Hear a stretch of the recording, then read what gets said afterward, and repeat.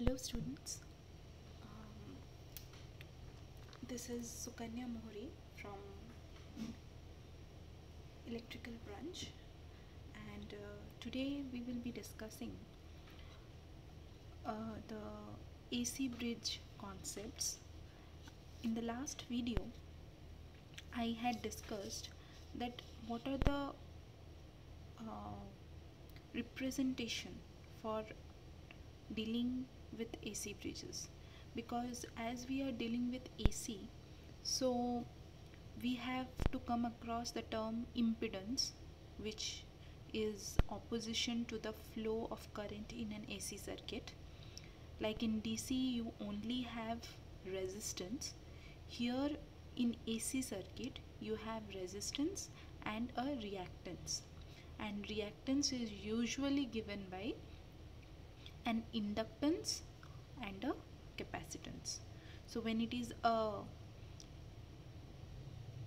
capacitive reactance it is represented by the term or by the symbol xc when it is uh, represented by the term xl then it is called as inductive circuit okay.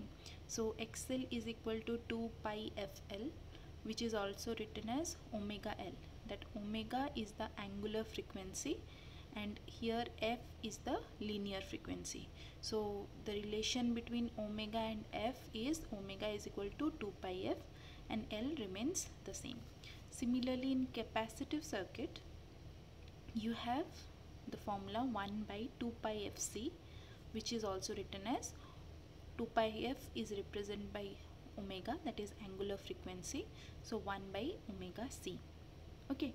So when we write or come across a circuit which consists of resistance as well as inductance it is represented as r plus jxl which is also equal to r plus xl is written as omega l. So it is r plus j omega l now when it is capacitive circuit when it consists of a resistance and a capacitance it is represented as r plus jXc and xc is equal to 1 by omega c. So r plus j 1 by omega c. When we bring it to the or reciprocal we do then it is this 1 by omega c becomes inverse and it is represented as r minus j omega c. Okay so similarly as we have already discussed what is the polar format what is the rectangular format how it when the balanced condition comes then how it is been represented. But now i will discuss that how this condition arrived or it how this condition was derived that for an AC circuit the system becomes balanced when Z1 into Z4 that is the opposite arm impedance product is equal to the product of these two arms. Okay